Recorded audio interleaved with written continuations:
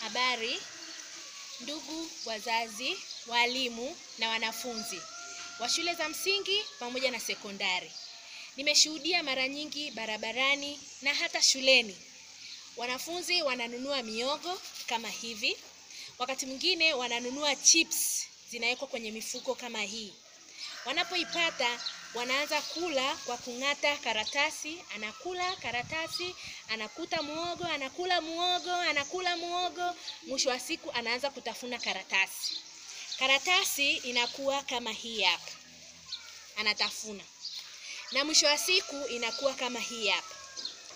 Sasa karatasi kama hii nimemkuta mwanafunzi mimi mwenyewe anatafuna na imekuwa hivi.